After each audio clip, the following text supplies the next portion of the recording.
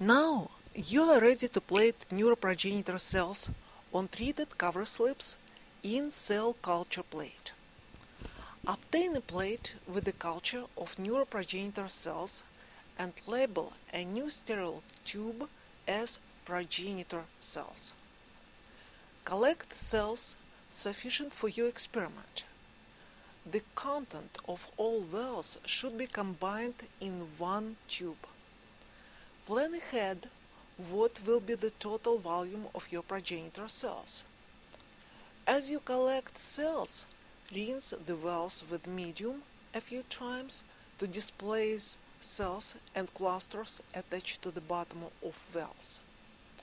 Try not to generate air bubbles since they will damage neuroprogenitors.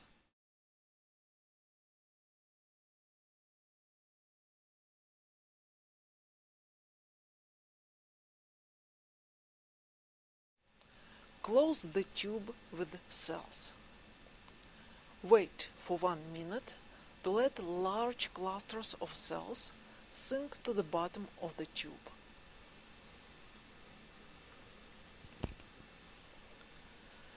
Obtain a sterile, fire-polished borosilicate Pasteur pipette and try to triturate cell suspension. Intake cells from the very bottom of the tube to collect large cell clusters and dispense medium with cells at the level above solution, holding a pipette tip against the side of the tube. This will dissociate clumps of cells to form less crowded, well dispersed cell culture on cover slips.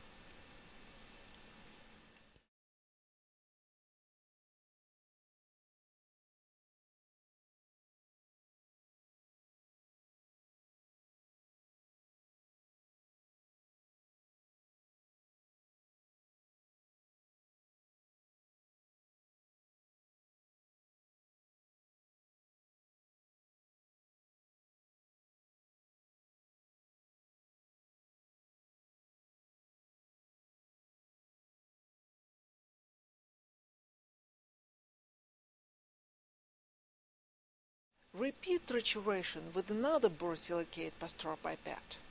Handmade, fire-polished pipettes have openings of different diameters. Using two pipettes will increase the chance of better cell separation in the suspension. Perform a 10 strokes in total. Avoid generating air bubbles in medium. Finally, cap the tube. Your cell suspension is ready for plating.